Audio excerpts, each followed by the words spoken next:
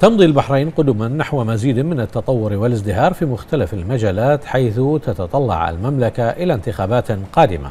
تفصلنا عنها أيام قليلة. بنظرة ملؤها الأمل والتفاؤل بمستقبل مشرق للبلاد وهي تنفذ المبادئ التي اشترك في بلورتها الشعب وقيادته. وتمخض عنها مشروع وطني شامل أرسى دعائمه جلالة الملك المفدى رعاه الله.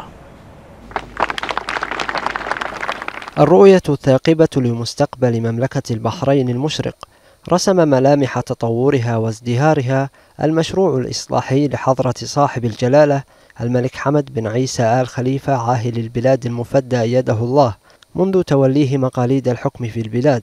هو المشروع الوطني الجامع الذي يشكل الأساس المتين الذي تقف عليه الإنجازات المتواصلة شاهدة على نجاحه.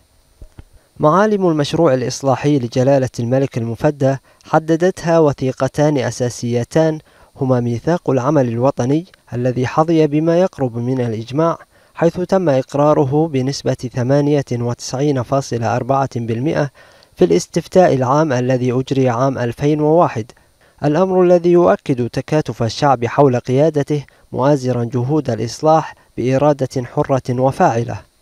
أما الوثيقة الثانية هي دستور مملكة البحرين المعدل لعام 2002 بما يتضمنه من أسس ومبادئ دستورية تنظم علاقات وشؤون الدولة وسلطاتها الثلاث التشريعية والتنفيذية والقضائية وكذلك الحقوق الأساسية والحريات والمقومات الأساسية للمجتمع.